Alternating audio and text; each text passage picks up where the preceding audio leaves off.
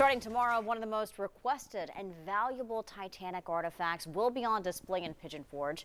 As Emily DeVoe tells us, the famed Hartley violin is part of a private collection now, so it's rarely seen by the public.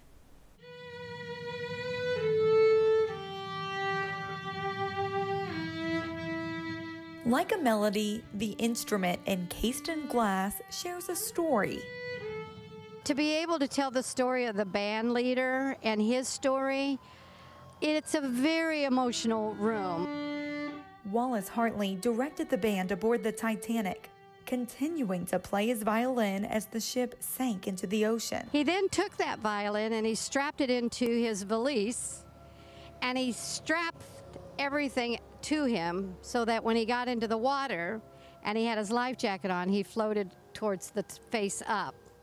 When they found his body, they did take the valise off, and inside they found this violin. His prized instrument is on display at the Titanic Museum in Pigeon Forge, along with his music file and the case that held the violin when he died. Eventually, the violin was passed down and it ended up in an auction house and it sold to a private collector for $1.7 million, the highest price ever paid for a Titanic artifact.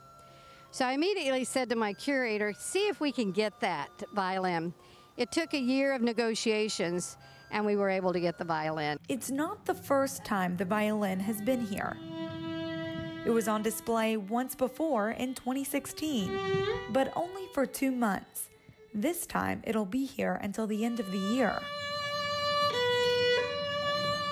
While a musician performs inside the exhibit when you walk in, the Hartley violin shares its own silent melody.